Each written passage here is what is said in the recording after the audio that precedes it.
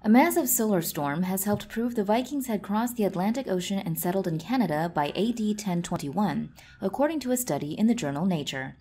Scientists already knew the solar storm occurred between AD 992 and 993 and was able to use a technique that measures increases in atmospheric radiocarbon concentration to correlate its impact on trees at the L'Anse aux Meadows site on Newfoundland's northern peninsula with later Viking activity. The study reanalyzed wood excavated from the site in the 1960s, which had been cut using metal Viking tools, otherwise unknown in North America at that point.